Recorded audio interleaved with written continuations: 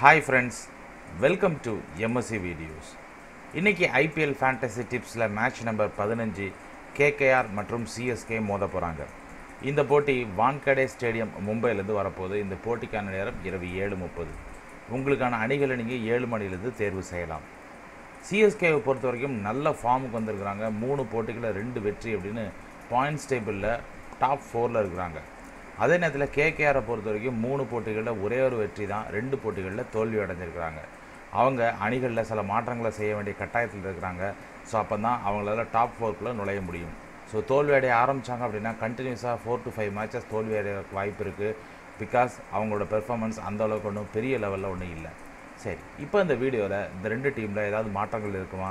யாரை செலக்ட் பண்ணால் நீங்கள் ஜெயிக்கலாம் அப்படிங்கிறதெல்லாம் பார்த்து தெரிஞ்சுக்கலாம். வாங்க.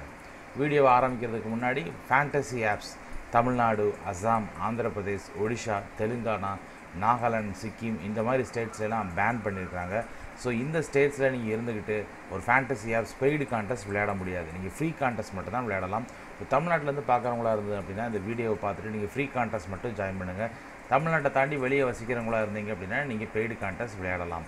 ஸோ இது இன்றைக்கி இன்னொரு மேட்ச் ஒன்று இருக்குது அந்த வீ- அந்த மேட்ச்சுக்கான டீம்ஸ் மட்டும் ஷேர் ஆகும். அந்த மேட்ச்சுக்கு வீடியோ இல்லை. ஸோ இந்த மேட்ச்சுக்கு மட்டும் தான் வீடியோ போட்டிருக்கோம். பாயிண்ட்ஸ் டேபிளை பொறுத்த வரைக்கும் சிஎஸ்கே மூணாவது பொசிஷனில் இருக்கிறாங்க. நெட் ரன் ரேட் அட்டகாசமாக இருக்குது அவங்க ஜெயித்த ரெண்டு போட்டிகளுமே நல்ல ரன் வித்தியாசத்தில் ஜெயிச்சிருக்கிறாங்க. கேகேஆரை பொறுத்த வரைக்கும் மூணு போட்டிகளில் ஒரே ஒரு வெற்றி தான். மைனஸ் பாயிண்ட் சிக்ஸ் த்ரீ த்ரீயில் இருக்கிறாங்க. அவங்க வெற்றி பெற வேண்டிய கட்டாயத்தில் இருக்கிறாங்க. நிறைய வெற்றி பெற்றால் மட்டும்தான் டாப் ஃபோர்க்குள்ளே நீடித்து நிலைக்க முடியும். ஏன்னா எல்லா டீமுமே கிட்டத்தட்ட ஒரே மாதிரி ஃபார்மில் தான் இருக்கிறாங்க. பிச் ரிப்போர்ட்டை பொறுத்த வரைக்கும் மும்பை பிச் நல்லாவே தெரிஞ்சிட்டு இருக்கு ஹை ஸ்கோரிங் வென்யூ தான்.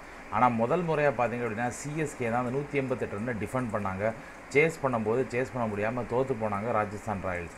ஸ்பின்னர்ஸை வச்சு அட்டாக் பண்ணார் தலை தோனி. யூஸ்வலாக ஸ்விங்கிங்க்கு தான் பேர் போயிருந்தது அந்த கிரவுண்டு பஞ்சாப் நூற்றி ஆறு ரன் தான் அடித்தாங்க இருபது ஓவரில் சிஎஸ்கே அதை ஈஸியாக சேஸ் பண்ணாங்க. ஆனால் இந்த முறை பார்த்திங்க அப்படின்னா ரவீந்திர ஜடேஜா மொயின் அலியை வச்சு ஸ்கோர்ஸை கண்டெயின் பண்ணார். ஸோ தோனியோட ஸ்பெஷாலிட்டியே அதுதான். ஸோ இந்த பிச்சை பொறுத்த வரைக்கும் நல்லா ஸ்டாண்ட் பண்ணி விளாண்டிங்க அப்படின்னா ஒரு ஒன் எயிட்டி ப்ளஸ் அடிக்கலாம். அதையும் ஈஸியாகவே சேஸ் பண்ண முடியும். அப்படி தான் நம்ம பார்த்துருக்கோம். பஞ்சாப் அடித்த இரநூத்தி இருபது ரன்னை கூட ராஜஸ்தான் ராயல்ஸ் ஆல்மோஸ்ட் சேஸ் பண்ணாங்க நம்ம நிறைய மேட்சஸில் பார்த்துருக்கோம். ஸோ இன்றைக்கும் டாஸ் வெல்லக்கூடிய அணி கண்டிப்பாக பேட்டிங்கை தான் தேர்வு செய்வாங்க. பேட்டிங்கை தேர்வு செஞ்சு நல்ல ஸ்கோரை போர்டில் போட்டிங்க அப்படின்னா கண்டிப்பாக அதை டிஃபெண்ட் பண்ணுறதுக்கான வாய்ப்புமே நல்ல வாய்ப்பு இருக்குது ஸோ தொடர்ந்து வீடியோ பார்க்குறதுக்கு முன்னாடி நம்ம சேனலுக்கு புதுசாக இருந்தீங்க அப்படின்னா மறக்காமல் சப்ஸ்கிரைப் பண்ணுங்கள் பக்கத்தில் இருக்க பெல் பட்டனை கிளிக் பண்ணி எல்லா நோட்டிஃபிகேஷன்ஸையும் எனேபிள் பண்ணிக்கோங்க. பெர்ஃபார்மன்ஸ் சிஎஸ்கே பொறுத்தவரைக்கும் டெல்லி கூட தோல்வி அடைஞ்சாங்க. அப்புறம் பஞ்சாப் கிங்ஸ் மற்றும் ராஜஸ்தான் ராயல்ஸ் கூட தொடர்ச்சியாக ரெண்டு வெற்றி. கேகேஆரை பொறுத்த வரைக்கும் சன்ரைசர் கூட ஒரு வெற்றி. தென் மும்பை மற்றும் ஆர்சிபி கூட ஒரு தோல்வி. ஸோ அஃப்கோர்ஸ் இவ்வளோ நாள் கேகேஆர் விளையாடிக்கிட்டு இருந்தது பார்த்தீங்க அப்படின்னா சென்னை பிச்சில் இப்போ கேகேஆர் ட்ராவல் பண்ணி மும்பைக்கு வந்திருக்கிறாங்க. ஸோ அவங்களுக்கு இது ஒரு புது பிச்சாக இருக்கும். மேபி சில பிளேயர்ஸுக்கு இந்த பிச் அவங்களுக்கு சூட் கூட ஆகலாம். எஸ்பெஷலாக Andrew Russell Pat Cummins Prasidh Krishna அந்த மாதிரி பவுலர்ஸுக்கு நல்ல சூட் ஆகிறதுக்கான சான்ஸ் இருக்குது ஸோ அவங்க ஒரு சேஞ்ச் ஆகி வர்றது அவங்களுக்கு ஒரு அட்வான்டேஜாக கூட அமையிறதுக்கான சான்ஸ் இருக்குது சிஎஸ்கேவை பொறுத்த வரைக்கும் தொடர்ச்சியாக இந்த கிரவுண்டில் தான் விளையாடிட்டு இருக்காங்க. இந்த கிரவுண்டில் எப்படி விளையாடணும் எந்த பவுலர்ஸை ரொட்டேட் பண்ணணுங்கிறதெல்லாம் ஓரளவு ஐடியா கிடச்சிருக்கும் சிஎஸ்கேக்கு ஸோ இந்த சான்ஸை யூஸ் பண்ணி இந்த போட்டியும் வெற்றி பெற ட்ரை பண்ணணும். விக்கெட் கீப்பர் செலெக்ஷனை பொறுத்த வரைக்கும் ரெண்டு பேருமே சுமாரான பர்ஃபார்மன்ஸ் தான் கொடுத்துருக்குறாங்க. எஸ்பெஷலாக போன போட்டியில் தலை தோனி பதினெட்டு ரன் அடிச்சிருந்தா கூட முதல் ஆறு பால் அவர் ரன்னே அடிக்கலை. அது அவரே பெட்டியில் சொல்லிட்டார் இந்த ஆறு பாலில் ரன் அடிக்காது இதே நான் வேறு மேட்சாக இருந்தது அப்படின்னா ஈவன் மேட்சே கூட காஸ்ட் பண்ணியிருக்கோம். ஆனால் இந்த போட்டியில் ஏதோ போயிடுச்சு அப்படிங்கிற மாதிரி. தினேஷ் கார்த்திக் சுத்தமாக அவுட் ஆஃப் ஃபார்ம் கடைசி போட்டியில் ரெண்டு ரன் அதுக்கு முன்னாடி எட்டு அதுக்கு முன்னாடி இருபத்தி ரெண்டு அப்படின்னு ரொம்ப சுமாரான பெர்ஃபார்மன்ஸ் ஸோ ரெண்டு பேர்லேருந்து யாராவது ஒருத்தர் வேணால் உங்கள் டீமில் செலக்ட் பண்ணிக்கலாம். ரெண்டு பேருமே பெரிய லெவலில் பெர்ஃபார்மன்ஸ் இல்லை. ரெண்டு ரொம்ப லோ டவுனில் இறங்குறாரு எம்எஸ் தோனியும் கிட்டத்தட்ட ஃபைவ் சிக்ஸ் தான் இறங்குறாரு. தினேஷ் கார்த்திக் ஆப்பர்ச்சுனிட்டி கிடைச்சும் இல்லை. மேபி நீங்கள் தினேஷ் கார்த்திகை உங்களோட சிங் ஸ்மால் லீக்கில் எடுக்கலாம். தலை தோனியை உங்களோட கிராண்ட் லீக்கில் பிக் பண்ணிக்கலாம். வேறு ஆப்ஷன் இல்லை. ஸோ ரெண்டு பேருமே எடுக்கிறதுக்கான சான்ஸ் இல்லை. தென் பேட்ஸ்மேனை பொறுத்த வரைக்கும் பார்த்தீங்கன்னா ருத்ராஜ் கேக்வாட் சம் கம்ப்ளீட்டாக அவுட் ஆஃப் ஃபார்ம் இருக்கார். மேபி நீங்கள் அவர் கிராண்ட் லீக்கில் பிக் பண்ணிக்கலாம் பிகாஸ் ஒரு ஃபார்முக்கு வரதுக்கான வாய்ப்பு இருக்குது அவரை இன்றைக்கி எடுப்பாங்களான்னு கூட ஒரு சில கொஷின் இருக்குது பட் தலை தோனியோட ஸ்ட்ராட்டஜி பெரிய லெவலில் சேஞ்ச் பண்ண மாட்டார். மேபி அவருக்கு மேலே உத்தப்பாக சான்ஸ் கிடைக்கலாம் அப்படிங்கிற மாதிரி. ஃபேப் டூப்ளிசிஸ் ரெண்டு போட்டியில் நல்ல ஸ்டார்ட் முப்பது முப்பது அடிச்சிருக்காரு. பட் அதை பெரிய லெவலில் கன்வெர்ட் பண்ணலை. ஸோ உங்களோட சிங்கு ஸ்மால் லீக்கில் கண்டிப்பாக அவர் இருக்கணும். இந்த பக்கம் பார்த்தீங்கன்னா பதினெட்டு எட்டு ஐம்பத்தி நாலு அப்படின்னு சுரேஷ் ரெய்னா. ஸோ அவருக்குமே அந்த மொயின் அலி ஒன் டவுன்ங்கிறதுனால அவரோட ஒரிஜினல் பொசிஷன் போயிடுச்சு. ஸோ அதனால் அவர் மிஸ் பண்ணிகிட்ருக்காரு இருக்காரு. ஸோ சுரேஷ் ரெய்னாவை கண்டிப்பாக நீங்கள் பிக் பண்ணிக்கலாம். அம்பத்தி ராயுடு தொடர்ந்து வந்து ஹிட்டர் ரோல் மாதிரி தான் வந்துகிட்டு இருக்காரு. வந்ததுலேருந்து அடிக்க தான் செய்கிறாரு ஸோ மேபி நீங்கள் அம்பத்தி ராயுடு இல்லை சுரேஷ் ரெய்னா இவங்க ரெண்டு பேர்லேருந்து யாராவது ஒருத்தர் அவங்க அணிக்குள்ள எடுத்துக்கலாம்.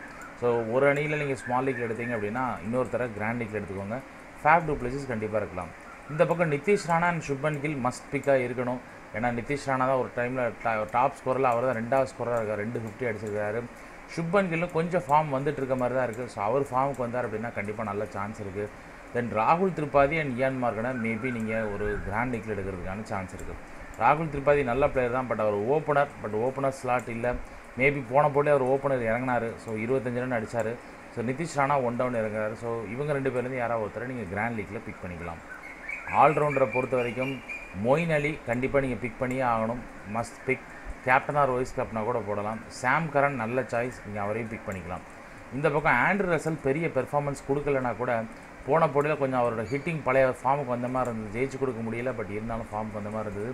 ஒரு போட்டியில் அஞ்சு விக்கெட்லாம் வேறு பிக் பண்ணார். ஸோ அந்தளவுக்கு அவர் நல்ல ஒரு டேலண்டான ஒரு பிளேயர் தான். ஸோ இந்த மூணு பேரை கண்டிப்பாக பிக் பண்ணலாம். மேபி நீங்கள் கிராண்ட் லீக்கில் ரவீந்திர ஜடேஜாவை பிக் பண்ணிக்கலாம். ஏன்னா போன போட்டில் ரெண்டு விக்கெட் வேறு எடுத்தார். நிறைய கேச்சஸ்லாம் வேறு பிடிச்சார். அதை கூட நிறைய பேர் இது பண்ணிகிட்டு இருந்தாங்க. மேபி ஷகுல் புல் ஹசனுக்கு பதிலாக நீங்கள் சுனில் நரேன் உள்ளே வரலாங்கிற மாதிரி நியூஸ் வந்துகிட்டு இருக்குது ஏன்னா கேகேஆர் அப்படின்னாலே சுனில் நரேன் தான். சுனில் நரேனை வச்சு அட்டாக் பண்ணாங்கன்னா அந்த நாலு ஓவர்ஸில் கண்டிப்பாக பெரிய லெவலில் ரன்ஸ் போக முடியாது. ஸோ மேபி அவர் உள்ளே வரலாம். அவர் உள்ளே வந்தார்னா அவர் ஓப்பனிங் கூட இறங்க சான்ஸ் இருக்குது ஸோ அதை பார்த்துக்கோங்க. அவர் கண்டிப்பாக எடுக்கலாம்.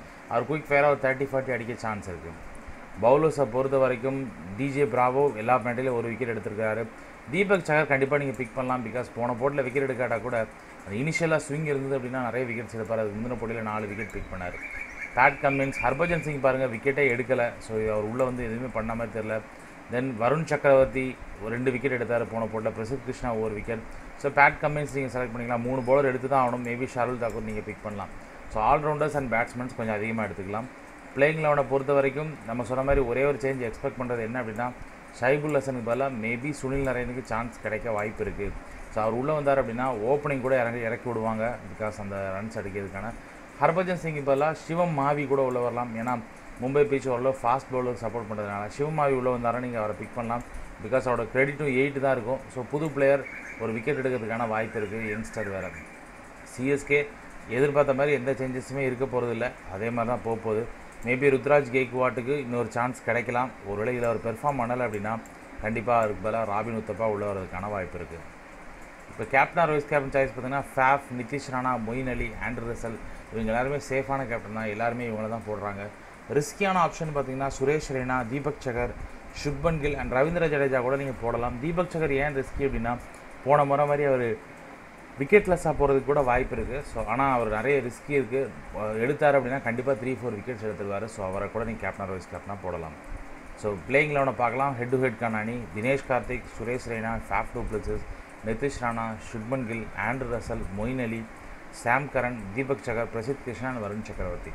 ஸோ இதில் பார்த்தீங்க அப்படின்னா நம்ம இவங்க ரெண்டு பேரையும் போட்டிருக்கோம். எம்எஸ் தோனி எடுக்கலை. So Moeen Ali and Sam Curran Deepak Chahar. So அஞ்சு பேர் இருக்கிறாங்க. ஸோ இவங்க வந்து போட்டிருக்கோம். ஸோ மேபி நீங்கள் தினேஷ் கார்த்திக் பதிலாக தலை தோனி கூட எடுத்துக்கலாம். ஒரு கிராண்ட் லீக்கான அணி பார்த்தீங்க அப்படின்னா அப்படி மாற்றி எடுத்திருப்போம். So Thala Dhoni Faf du Plessis Nitish Rana Tripathi Jadeja Sunil Narine so ஒரு இவர் விளையாடலை அப்படின்னா இவருக்கு பதிலாக ஷைபுல்லஸ் எடுத்துக்கோங்க. இல்லை அப்படின்னா இவருக்கு பதிலாக ஆயன் மார்கன் கூட எடுக்கலாம். Andre Russell Moeen Ali Bravo Cummins and Thakur so கேப்டனாக ஃபேப் டூப்ளஸ் போட்டிருக்கேன். வைஸ் கேப்டனாக ஆண்ட்ரூ ரசல் போட்டிருக்கேன் ஸோ நம்ம சொன்ன ஸ்டாட்ஸை யூஸ் பண்ணி நல்ல டீம்ஸை பிக் பண்ணுங்கள் நல்லா விளாடுங்க ஆல் தி பெஸ்ட்